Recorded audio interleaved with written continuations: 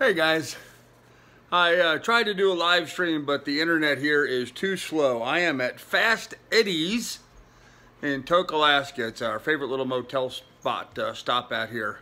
Uh, we've stopped in here numerous times when we were driving back and forth between Montana and Alaska for my daughter to come up for sled dog races. But me and Miss Lily are having fun. It's a nice little motel room. See, there's the kind of what the room looks like, and there's two beds and a mirror and a television set and. Uh, Really nice bathroom with a big hot shower, and man, that felt good. So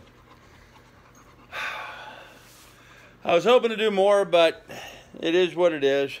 Road between uh, road coming here to last oh two hours of it were really bad. A lot of uh, frost heaves, worst I've ever seen. So kind of had to drive pretty slow, but still I made it here by about 7:30 and just got done taking a shower and uh, I'm gonna go get some grub get something to eat and get some sleep. Oh. Miss Lily's just checking out the room. She's not sure what to do. She got awful excited today but you know with all those whoop-de-doos in that curvy road I was on I was really surprised that she didn't uh, throw up. Apparently she's not gonna get motion sick so because if she was gonna get motion sick that would have done it. That was the spot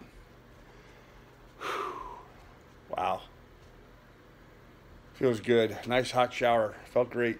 Anyhow, I'm in Tok, Alaska, and uh, be heading out in the morning. I may stay here long enough to get breakfast, or I may just get up and go. I don't know.